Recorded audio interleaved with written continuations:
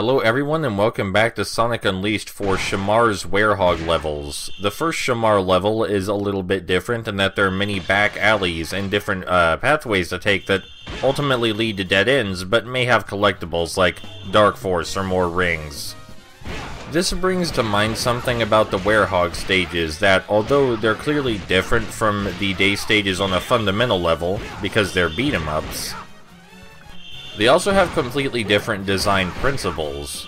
For example, in the day stages in this game, there are multiple pathways, all of them valid ways to get to the finish line. But that most certainly isn't the case with the Werehog stages, which are strictly linear. The Werehog stages also don't derive their satisfaction from rhythmic action. The satisfaction in the day stages and in the speed stages in most Sonic games comes from how you chain actions and attacks together in a quick fashion. The same kind of satisfaction you get from playing a Tony Hawk game, really. Although the mechanics are fundamentally different between Tony Hawk and Sonic speed stages, the design principle is still there. The idea that the best way to satisfy the player is to give them opportunities to chain several actions together quickly to a stylish result.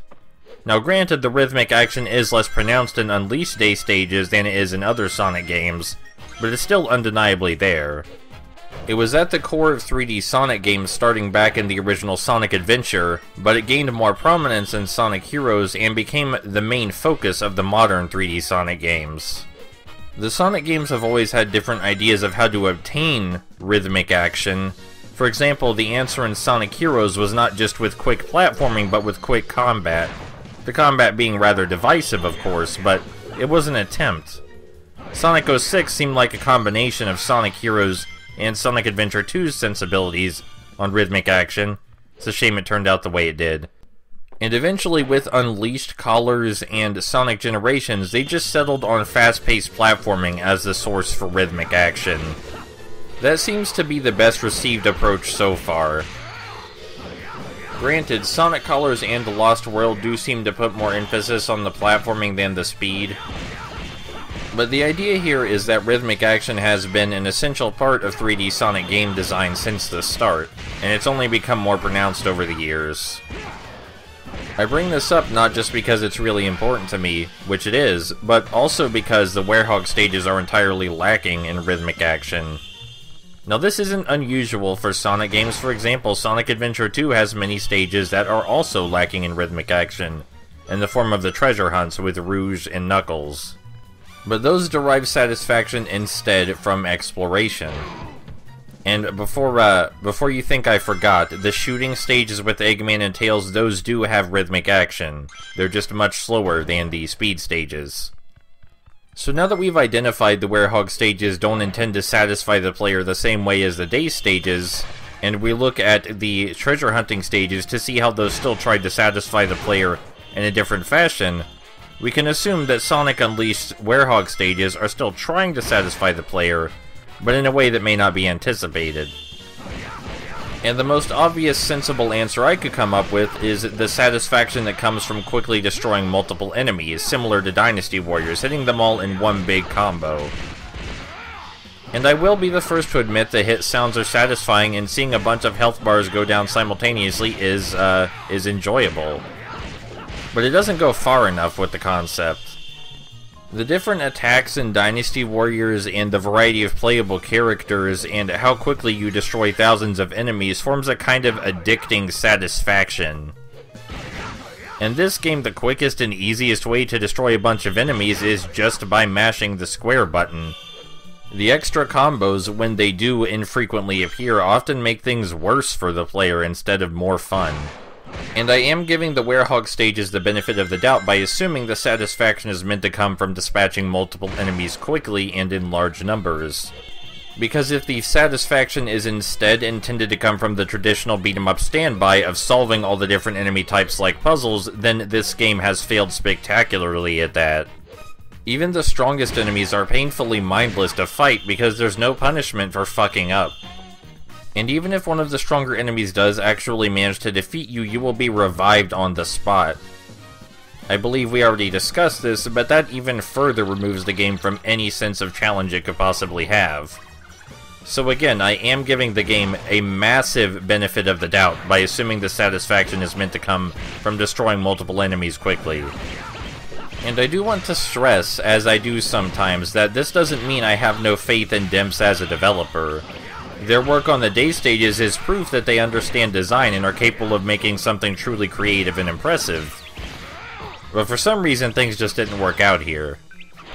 Anyway, the timing didn't quite work out how I wanted, but uh, there's another new big enemy that's about to appear, and I believe he's a good example of what I meant. I can't even remember what this enemy's attacks are, for example. Because whenever I see one, my brain just goes, oh yeah, quickly mash the square button and he'll go down in a few seconds. That guy was supposed to be tough. Granted, we did have the Unleashed gauge activated at the time, but that only saved us around 5 to 10 seconds.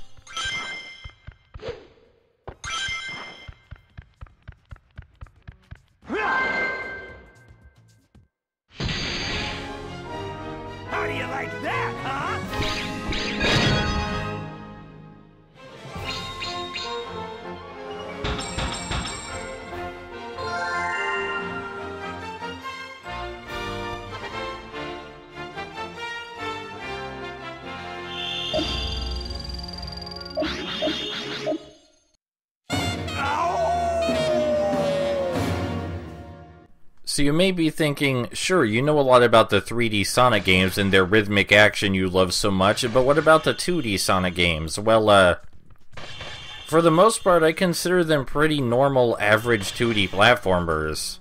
Keep in mind I have not played Sonic Mania. But the traditional classic Sonic games, Sonic 1 to 3 and Sonic and Knuckles, I just consider those really normal 2D platformers. I have played them all, and they, there's nothing too outstanding about any of them, if we're being honest. And keep in mind, just because I think they're all fairly average 2D platformers, that doesn't mean they're average in the same way or have the same game design sensibilities. The games are all very different and have different focuses. Sonic 2 is nothing like Sonic 3, for example. And I haven't played the Sonic Advance series either, but Sonic Rush is a good example of rhythmic action being incorporated into a 2D Sonic game, especially Sonic Rush Adventure. Yes, that game was so fast that it forced you to redo the levels and memorize them if you wanted to do well, but that's not really all that different from Sonic Generations and Unleashed, is it? And I do believe that Sonic Colors got a DS port that was very similar to Sonic Rush in terms of mechanics. I can't comment on how it turned out in the end because I haven't played that either, but I did look it up and it looks very similar mechanically. So if you're looking for that good old rhythmic action, but instead in a 2D format, there's always the Sonic Rush series and maybe Sonic Colors. Here's a new wizard enemy. This guy's on fire. In order to make him vulnerable, we have to hit him with a water barrel. That way we can actually start hitting him. If we hit him while he's on fire, he will hurt us. Okay, that's one new enemy type explained in like 5 seconds. Real heavy stuff, you know. Gotta think real hard to solve that guy. So in terms of 2D Sonic games, you have the classically inspired games Sonic 1 through Sonic CD. Then you have Sonic Advance, Sonic Rush, and uh, a couple of 2D games inspired by Colors and Unleashed that don't quite fit perfectly with the other games. And if you're curious what I mean about Sonic Unleashed having a, a 2D counterpart, then rest assured I'm not going crazy. Sonic Unleashed got a phone game for the Blackberry and it looks really bad. But it is a 2D Sonic game. So we've covered all the basics, right? And uh, come to the conclusion that, aside from a few blank spots like Sonic Advance, Sonic Rush is the place to go for rhythmic action in 2D Sonic titles. But actually, we're overlooking something, something that a lot of people overlook because they tended to see it as a throwaway title. But it was a throwaway title that Sega briefly took very seriously, got its own sequel, and has uh, vocal tracks. That's how you know your Sonic game has made it to the big times, if Sega thinks it's worth putting a vocal track in there. All jokes aside, I am referring to the PSP exclusive game Sonic Rivals. Opinions and critical reception of Sonic Rivals range from mediocre to oh god, it's terrible. But I'm of the belief that it's a decent game that gets a lot right in the rhythmic action department and has a lot of cute ideas that help, its that help it form its own identity. First, let's start out with the similarities between Sonic Rivals and the 3D Sonic games. Sonic Rivals fosters a similar sense of rhythm to the 3D games by letting you complete multiple actions very quickly at high speed. The tools used to complete these actions are a bit different, for example the homing attack is no longer the main method to chain moves together, but the idea is still there. Another uh, similarity is that the stages focus heavily on memorization to optimize your route through, Multiple pathways are always something that's important to me in 3D Sonic games. I think they matter a lot, and Sonic Rivals has a lot, a lot of alternate pathways. In fact, I would say that's the main point of the game, is to explore the alternate pathways. When you find the quickest path through a level, the end result can look something like poetry in motion.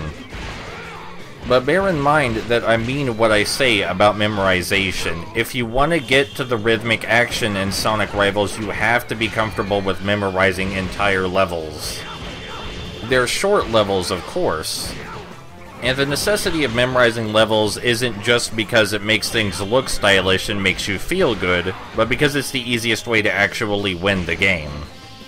So a few things may have popped to mind uh, during that last statement of mine. You might be thinking, what, are there so many enemies and so many hazards that you have to memorize the whole thing or you plummet into a spike wall like Sonic Rush? And not quite.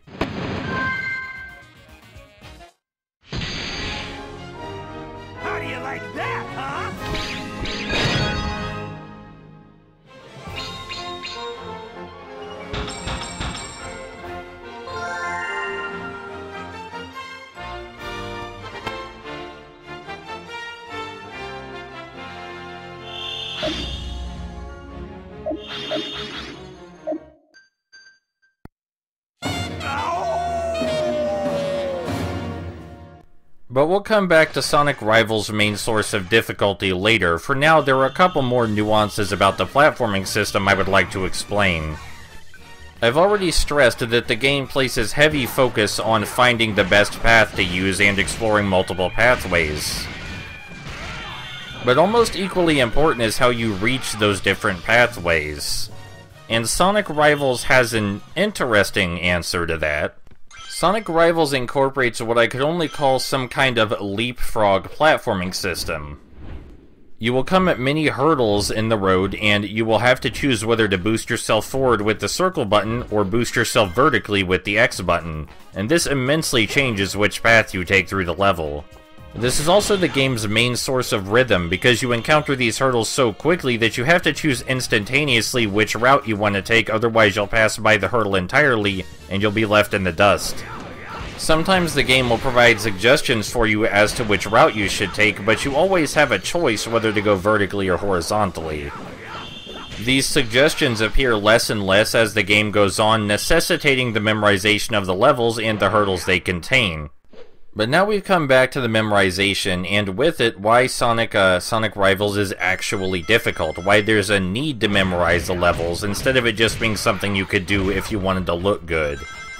And the answer to that question is the same reason why this game is so divisive. Why Sonic Rivals is so divisive, rather, is that it is a racing game, a racing platformer. You are racing with a rival throughout the entire game. There is not a single level where you do not have someone trying to beat you to the goal. And your rival has all the same abilities as you do, move pretty much exactly the same speed, and only differ in their signature move. And this is the main reason that memorizing the levels is so important. Not because you want that S rank, not because there's a time limit on the level or anything like that, but because memorizing an optimal route through the level is the best and easiest way to get ahead of your rival. Some routes have better power-ups than others, some are just plain faster, and some have less enemies to get in your way. Basically, it pays to play smarter, uh, most of the time. Taking the fastest path through a level and placing your items strategically will give you an advantage generally, but keep in mind the AI is capable of exactly the same things you are. This means they can sometimes follow your path exactly because they're not human, and it doesn't matter how well you memorize the level, the computer already knows where everything is. Thankfully, for the most part, the game is good at avoiding this, and if you try and take the best or most skilled path through a level, the AI will have trouble following you. It's just that sometimes it doesn't. And I have mentioned power-ups and items a few times at this point. You might have some ideas of how those works, and yes, I can confirm that your greatest fears are realized, and they are pretty much just Mario Kart items. You can throw them ahead of you to slow down your rival, or you can drop them behind you to, uh, slow down your rival.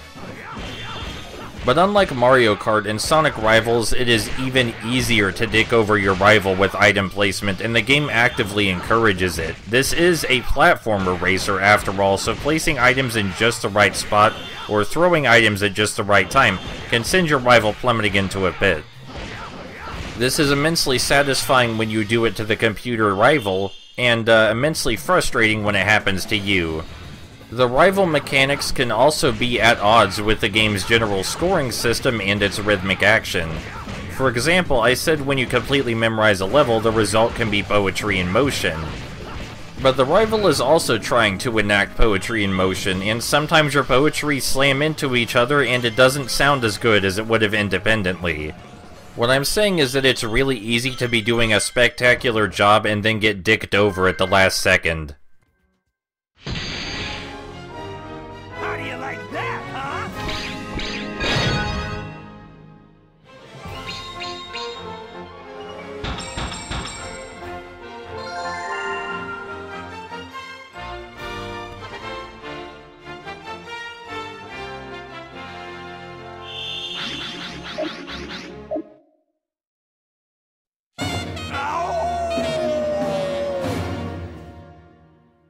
I hope you guys appreciate this. I hope you appreciate me putting an entire game analysis video in the Sonic Unleashed video again, just to entertain you.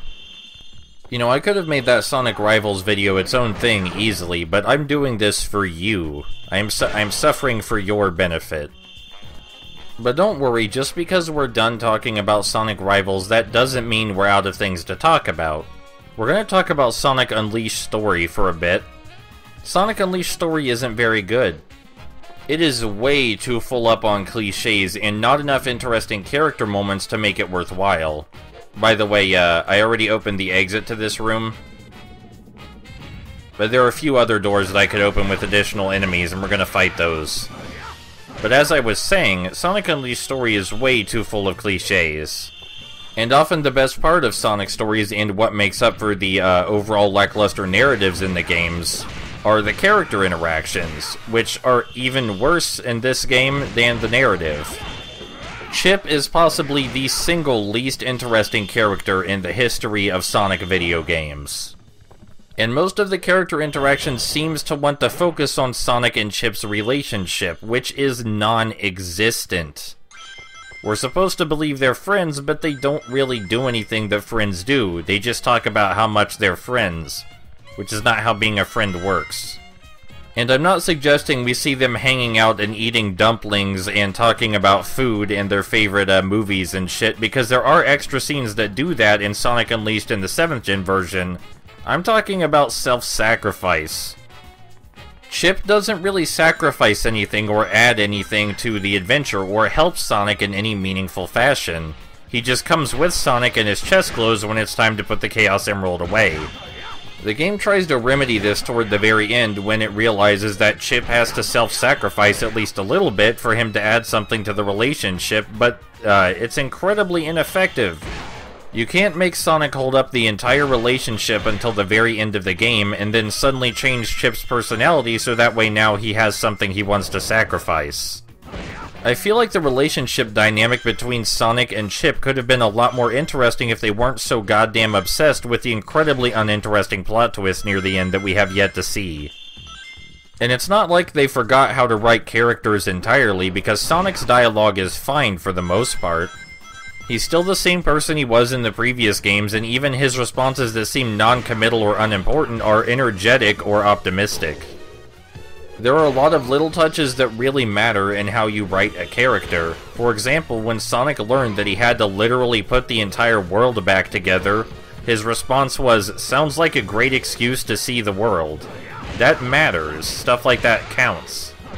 When confronted with the overwhelming responsibility of fixing the entire world and saving it from destruction, he's just like, alright, that sounds pretty cool. They even bring up later, uh, the core behind Sonic's character, that he just does whatever he feels is best all the time. He's not a very introspective person. He doesn't slow down or stop to think, he just does what he thinks is best. Acts immediately on his gut instincts. And that's very apparent in this game. So his character is written incredibly consistently. It has depth, there's things to enjoy here, you can see Sonic as a character. Now describe Chip's character to me. Tell me what is interesting about Chip, uh, how he lives his life, what his philosophy is. I'm waiting, just tell me, uh, tell me who Chip is as a person. I'll give you infinite time.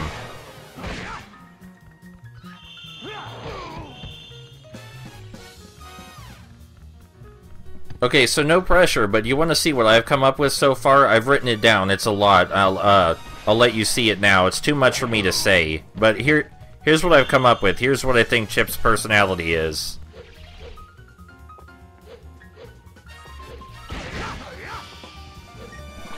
So yeah, the core character dynamic in the game between Chip and Sonic, it's no good. It's no good at all. And seeing Sonic act like Sonic again is not a good enough reason to justify this entire narrative. But there are some other things I like about it. There's a consistent theme in Eggman's short-sightedness and hubris getting him into trouble. He actually would have won this time, he would have beaten Sonic forever, if he had just planned things out better. There's also a nice bit of world building with Dark Gaia being too heavy to sustain its own form. Like, it's easy enough to say, oh, you awakened it too early, but they actually gave a reason. He's too heavy to sustain himself if he doesn't uh if he doesn't get all his rest. But overall, it's really disappointing how uh how underwhelming and pretty uh pretty bad, honestly, the story in Sonic Unleashed is. Because the stories are actually some of my favorite things about most of the 3D Sonic games. Anyway, the idea behind this puzzle, if you want to call it that, is that fire is bad. So in order to get through the fire, we have to put a steel box on top of it to stop it. Surprisingly enough, this does come up one more time. This isn't just a throwaway mechanic, they use it at least once more. You know guys, I did it. I stayed on point the entire video, the entire, uh, the entire 20 minutes of Werehog stages in this video. I managed to only talk about Sonic and Sonic game design, and even Sonic Unleashed itself at the beginning and end. I feel very proud of myself. Not everyone can do that, you know, not everyone can talk about narrative themes and game design over a really boring video game for 20 minutes. Some of them devolve into talking about shit like uh, Cosmic Race on the PS1, and how it led you to finding out about Bug Racer and uh, Space Winder, also on the PS1. And you're like, how many weird-ass racing games on the PS1 could there possibly be? But no, I didn't do that. Also, it was Bug Riders, by the way, not Bug Racers. And even though it came out in 1997, it has nothing to do with the McDonald's toy line, also called Bug Riders, in 1997. So this big guy we're fighting, he's exactly like the other big guy, except this big guy has more health and he hits harder. And I mean, yeah, we're taking a lot of damage, but it doesn't matter. It doesn't matter at all.